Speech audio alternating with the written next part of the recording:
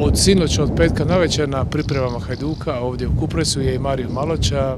Jutro si odradio prvi trening, lakši po posebnom programu. Najprije, kako se osjećaš? Pa evo, prvo moram reći da sam sretan što sam se priključio ekipi, stvarno dugo sam čekao, već je prošlo šest mjeseci da ne treniram.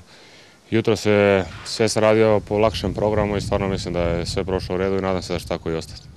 Što možemo očekivati, kakav e, ritam treninga?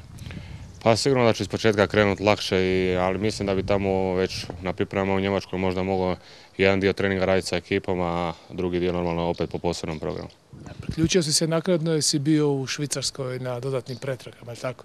Pa jesam, bio sam još da se uvjeren 100% da nije ništa strašno, eto i oni su rekli da je taj živac jedan upaljen iznad koljena i sad dobivam tretman od doktora sa injekcijama i svaki dan bi se trebalo to sve više i više smiriti. Trener Mišo Krstičević u nekoliko navrata je kazao kako si mu vrlo važan igrač, e, jedva čekao je tvoj dolazak. Vjeruješ li da možeš krenuti u novu sezonu?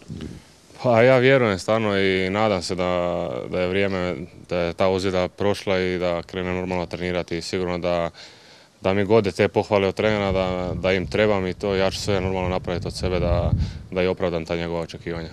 Vidio si po dolasku puno novih lica, odnosno puno mladih lica, kakva atmosfera u momčadi, evo nakon, eto, niti 24 sata kako si došao.